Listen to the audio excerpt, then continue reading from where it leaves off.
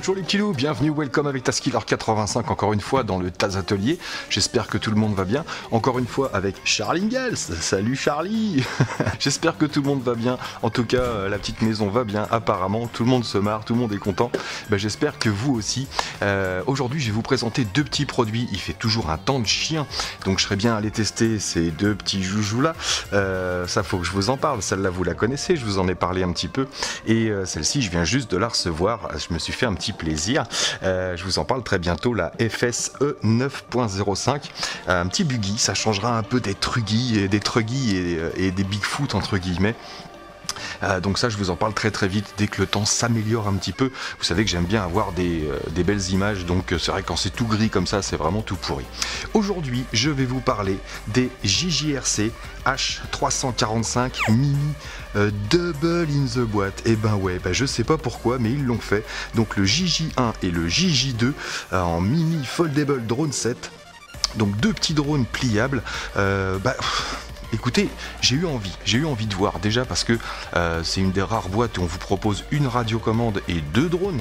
Alors déjà vous allez me dire pourquoi faire? Eh ben écoutez, plusieurs utilisations possibles. Euh, déjà, vous pouvez essayer de piloter les deux en même temps. bon courage. Je sais pas si je testerai, mais à mon avis, c'est le meilleur moyen de euh, les foutre en l'air, même s'ils sont super costauds.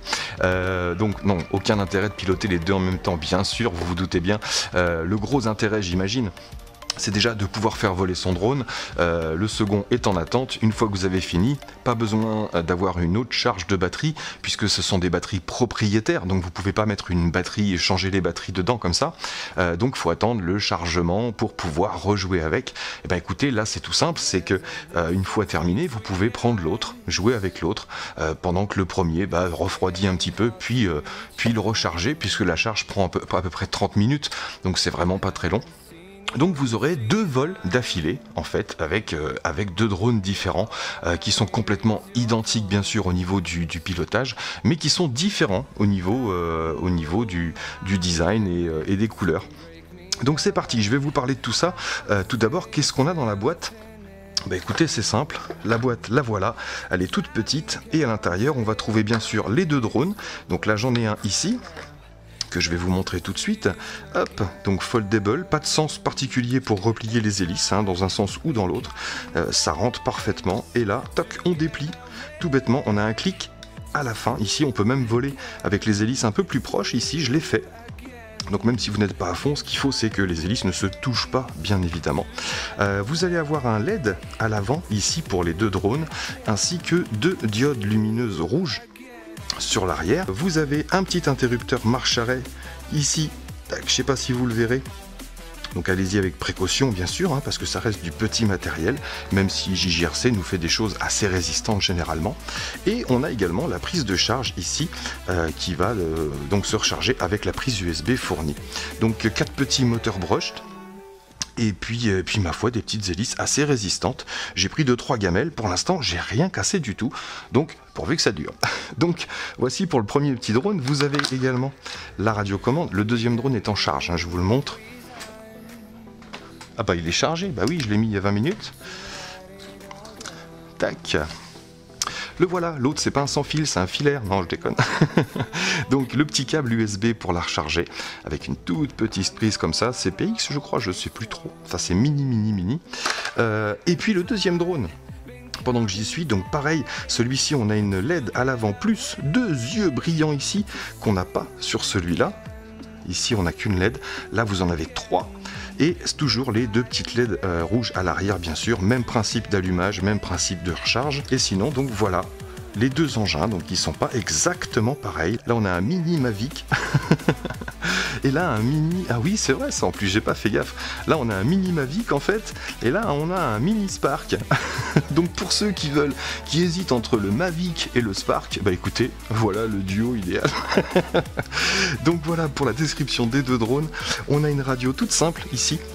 Mode 2 sans maintien d'altitude, bien sûr. Là, il va falloir que vous maîtrisiez l'altitude. Euh, donc, mise en route au centre ici. Ça fonctionne avec 3 piles LR 03 donc de bonne qualité, de préférence, comme d'habitude. Euh, sinon, nous avons sur la droite ici le bouton des flips. Vous allez voir, les flips sont assez sympas et assez réactifs. Et sur la gauche, le bouton des vitesses. Donc vous avez trois vitesses différentes. euh, qui influe surtout sur l'inclinaison du drone, un tout petit peu sur la rotation, mais vraiment à peine. Nous avons également quatre boutons de trim. Donc euh, ces deux-là sont réellement des boutons de trim, donc droite, gauche bien sûr et avant, arrière. Une fois que vous aurez démarré votre drone, calibré et démarré votre drone, si jamais en intérieur il y a un petit peu de drift, c'est avec ça que vous récupérez euh, l'alignement. Euh, n'allez pas le faire en extérieur, je vous l'ai toujours dit, à moins d'avoir un jour sans vent du tout, un vent nul, vous pouvez récupérer aussi mais n'allez pas essayer de récupérer du drift à cause du vent avec un trim. Je vous ai dit, ça ne sert strictement à rien parce que si vous mettez, je vous explique, si vous, vous décollez vous avez un petit peu de vent par là, votre drone va drifter par ici. Si vous mettez du trim à gauche, ici, vous allez forcer contre le vent et donc réussir à le stabiliser mais votre drone va pousser sur la gauche. Ça veut dire que, comme le vent va par là, si jamais vous faites demi-tour, le drone va toujours pousser sur sa gauche, et là, il ira encore plus vite avec le vent. Vous comprenez. Donc le trim, euh, c'est surtout pour stabiliser l'engin en intérieur ou alors à l'extérieur quand il n'y a pas un souffle de vent. J'insiste. Et le calibrage, je vous en reparle bien sûr. Euh, sinon, cette radio, donc on a le trim droite-gauche, on a le trim avant-arrière, on a le trim de rotation. Ici, si vous décollez et que votre drone a tendance à légèrement tourner comme ça, c'est avec le trim de rotation ici que vous le récupérerez il n'y a que celui-ci qui n'est pas un bouton de trim. Là, vous aurez sur l'avant le mode headless, sur l'arrière le mode retour to home. Donc forcément, c'est pas un drone GPS, il va pas revenir et se poser, vous le savez. Euh, le retour dans ces cas-là, c'est vraiment par rapport à l'initialisation de départ. Vous mettez votre drone en face de vous, la radiocommande derrière, et vous allez initialiser votre drone dans cette position de départ. Ça veut dire que votre drone, quand vous ferez un retour, reviendra automatiquement dans cette direction-là. ok? Si vous déplacez votre drone à 5 mètres sur la gauche, il ne va pas revenir vers vous. Il va revenir toujours dans cette direction-là. Ok, donc tout le monde a compris? je, refais toujours un petit check-up vite fait parce qu'il y en a toujours qui me posent des questions sur le mode headless, euh, sur le mode retour. Donc euh, je préfère préciser à chaque fois. Donc voilà, en ce qui concerne euh, la radio plus les petits drones, on n'a aucune fonction en appuyant sur les sticks sur cette radio là. Enfin c'est déjà pas mal, hein. on a le headless, le retour, le... les trois vitesses et le mode flip. Donc c'est déjà pas mal pour des petits engins comme ça. Donc vous aurez 4 hélices de rechange également, simplement 4. Donc il n'y en a pas 4 par appareil. Vous aurez 4 hélices de rechange. Mais bon, comme je vous l'ai dit, euh, votre appareil, vos deux appareils vous servent, je vous dis, à voler les uns après les autres, ou alors le jour où vous en abîmez vraiment un, ou qui ne fonctionne plus, on ne sait pas pourquoi, et que vous voulez pas vous donner la peine de réparer, parce que franchement l'ensemble vaut très peu cher, je suis pas sûr que ça soit intéressant d'acheter des pièces pour réparer ces engins-là, mais en attendant, si vous en abîmez un, vous pouvez le conserver pour les pièces détachées, ça veut dire que vous aurez des hélices, des moteurs et tout ce qui va avec pour votre second drone. Donc vous avez également à l'intérieur le petit euh, AR Master Shooter. vous savez, je vous en avais parlé. Euh, on l'avait eu déjà dans un emballage JGRC. C'est l'application à télécharger euh, qui vous fait un petit jeu vidéo de drone pour tirer sur d'autres drones. Donc là, il vous le redonne encore pour ceux qui ne l'avaient pas. Et la petite notice, petite notice toute simple ici qui vous donne les principes de base, euh, donc le fonctionnement, la mise en route, le sens des hélices, le mode headless, etc., etc. Donc très très facile à comprendre, vous n'en aurez pas besoin si vous avez suivi la vidéo, je pense. Donc voilà pour le petit ensemble.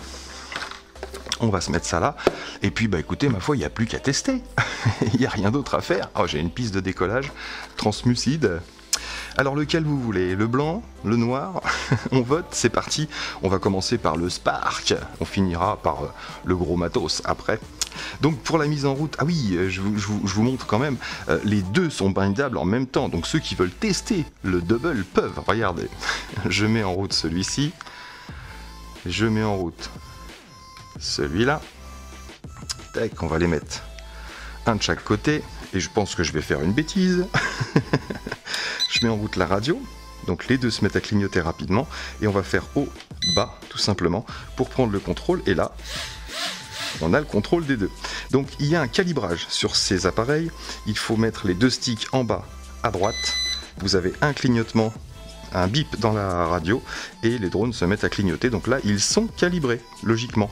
Donc ça veut dire que si je, si je pousse, c'est tout simplement parti. Voilà, c'est infaisable. C'est infaisable, c'est injouable, puisque les deux vont partir dans tous les sens. Voilà, c'est parti et je peux pas récupérer l'autre. Allez, j'arrête tout, je coupe. Donc vous l'aurez compris, c'est strictement impossible de piloter les deux en même temps, on est d'accord. Allez, c'est parti, on va commencer. On va laisser le, mini Mavic de côté. On va commencer par le petit Spark. Alors je lui refais une calibre. Voilà, j'ai recalibré. Donc comme vous voyez, l'avant du drone est par là-bas. Moi je suis derrière avec la radio. Ça veut dire que je suis orienté dans ce sens-là pour le mode headless. Donc vous le savez, le mode headless, une fois que vous l'avez déclenché, surtout ne changez pas l'orientation de la radio, parce qu'en mode headless, quand on pousse vers l'avant, on va automatiquement dans le sens qu'on l'a orienté. Peu importe l'orientation du drone, une fois que vous l'aurez tourné ensuite, si vous poussez en avant, il ira toujours en avant. Par contre, si vous changez l'orientation de la radio pendant le mode headless, si vous poussez en avant par ici, le drone lui ira en avant par là puisque c'est l'orientation qu'il a eu au départ. Donc pensez-y. Hop, c'est parti, donc belle petite LED à l'avant. Donc je décolle. Allez Donc là, je vais essayer de le stabiliser. Donc vous voyez, j'ai un petit drift sur la gauche, ici. Donc je vais le récupérer avec le, hop, le trim de direction qui est là. Voilà. Maintenant, il part un peu vers l'avant, même si ça ne me dérange pas. Je vais tirer un peu sur l'arrière avec le deuxième trim. Et voilà, il est stabilisé. C'est plutôt correct, un petit peu trop sur la droite. Voilà. Donc on a un petit vol très très doux, comme vous voyez, ils ne font vraiment pas beaucoup de bruit. Et puis plutôt pas mal stable, j'ai envie de dire. Voilà, une fois que le trim est fait, c'est plutôt correct, hein, ça bouge pas. On a un bon petit répondant, Donc là, je suis en vitesse 1, donc je peux pas, je peux pas récupérer très très vite. Je vais tout de suite vous montrer les trois vitesses. Donc je vais passer en mode headless tout de suite. Donc j'appuie sur le haut ici et je pars en mode headless, c'est-à-dire je pars en rotation, vitesse 1, vitesse 2. Vous voyez, il a accéléré légèrement. Je maintiens l'altitude et vitesse 3. On accélère encore un tout petit peu. C'est vraiment pas énorme sur le sur le mode rotation. Donc je vais repasser en vitesse 1. On va regarder, je vais arrêter le mode headless, je rappuie en haut. On va regarder pour les inclinaisons. Donc voilà pour la vitesse 1. Donc pour les petites balades tranquilles. On le voit bien revenir. L'autre on le voit même encore mieux. Alors faut anticiper les virages parce qu'en vitesse 1 on n'a pas beaucoup beaucoup de répondants. Ça permet de se familiariser avec l'engin. Le voilà. On va passer en vitesse 2. Hop, c'est parti. Et là, tout de suite, c'est un peu plus euh, péchu, forcément. Voyez. Oups là, j'ai fait une petite touchette, mais je vous l'ai dit, ils sont assez costauds. Hein. Les hélices ne pètent pas comme ça. Ça va, ils ont mis une bonne qualité d'hélice. Donc beaucoup plus péchu en vitesse 2. Hop, permet de récupérer plus facilement. Vitesse 3 maintenant. Donc là, encore plus d'angle, beaucoup plus d'inclinaison Oh, j'ai failli me faire attaquer, t'as vu Donc voilà pour la vitesse 3. Vous l'aurez remarqué, ce petit drone fonctionne super bien. C'est vrai qu'il a une bonne réactivité, il est plutôt doux, plutôt propre. Donc rien à dire de particulier. Je vais essayer de le stabiliser devant la caméra. Il a vraiment un vol très très soft.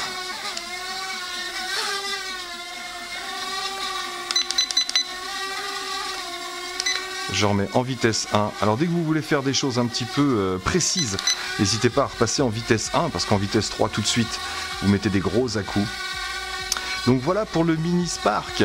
Alors pareil, bonne autonomie. Hein. On va aller emmener jusqu'au bout, jusqu'au clignotement, pour avoir l'autonomie du drone.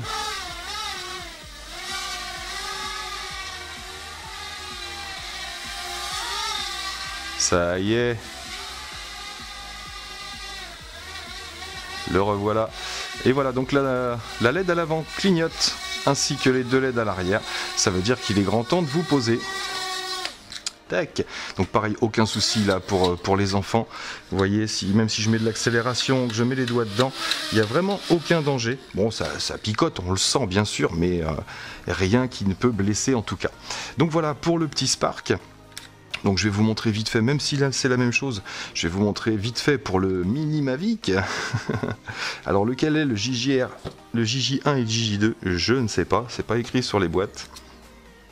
Donc c'est parti pour le Mini Mavic. Donc là je suis obligé de rallumer la radio. Pour prendre le contrôle, on fait toujours haut, bas. on est connecté. Et toujours la calibre avant de décoller. Tac, alors il nous reste les flips à tester ainsi que le mode retour. Donc là c'est pareil, je vais le stabiliser tout de suite. Un petit peu de trim à droite parce qu'il part sur la gauche. Voilà, et là il est stabilisé. Donc c'est parti pour les petits flips. Écoutez, regardez, je vais le faire devant nous parce que je sais qu'il est assez rapide. Je vais tout de suite mettre en vitesse 3 ici, même si ça n'a aucune incidence sur les flips, c'est juste plus facile pour le récupérer. J'appuie sur le bouton de flip et je mets une direction. Et voilà, automatiquement. Hop, flip avant. Ah non, flip gauche. Hop, on va se faire un flip avant. Flip arrière. Yay Alors vous voyez, il prend un tout petit peu d'altitude, c'est pas moi qui pousse le throttle. Ici, il prend un petit peu d'altitude au moment du flip. Hop, et se récupère très très rapidement, bien stable. Alors vous pouvez même les faire en bougeant. Regardez si je pars en avant, j'ai juste à appuyer sur le bouton de flip, hop, et il fait son flip automatiquement. Retour à la maison. Hop là, vous avez vu, c'est très très nerveux, ça marche vraiment bien. Alors j'ai une petite préférence pour celui-là euh, à cause de ses deux gros yeux et de son pif. Regardez, il a vraiment une tronche de loin.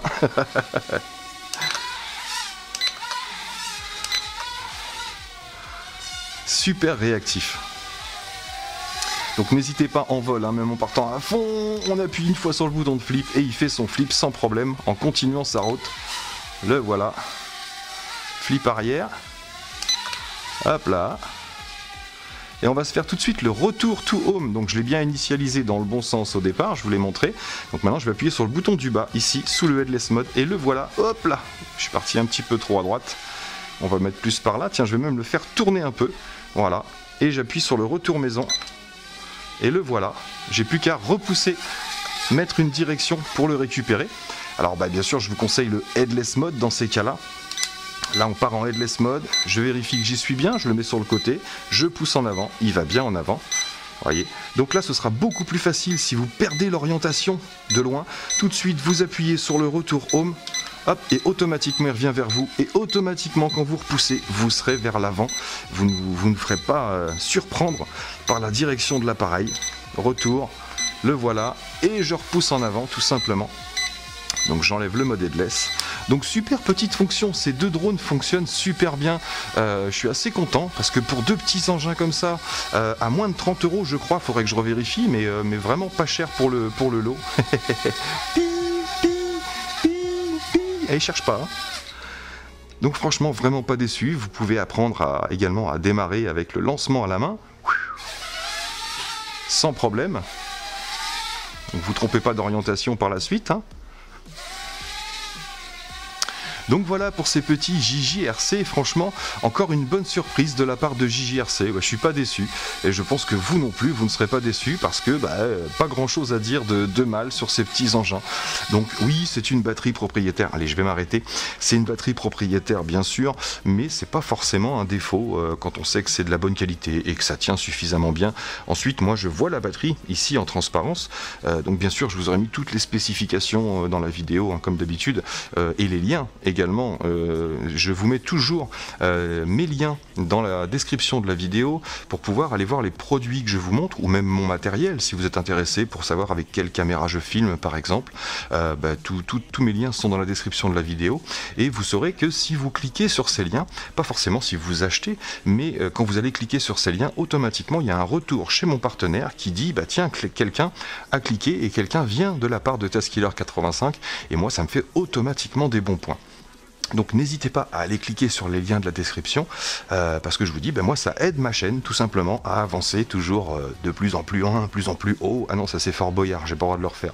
Bref, donc pour ces JJRC H345, eh ben écoutez, moi je valide. Qu'est-ce que vous voulez que je dise? Ça vaut pas 30 euros. Il y a une radio qui fonctionne plutôt bien, beaucoup plus grosse qu'une radio haricot de base, donc on, l'a bien en main. Elle répond super bien, que ce soit en vitesse 1, 2 ou 3, et, euh, et plutôt bonne portée. Hein. Moi j'ai poussé à 40-45 mètres ça fonctionne. C'est pas fait, bien sûr, pour aller sur des distances folles, puisqu'ils sont tout petits, vous allez très vite fait perdre l'orientation.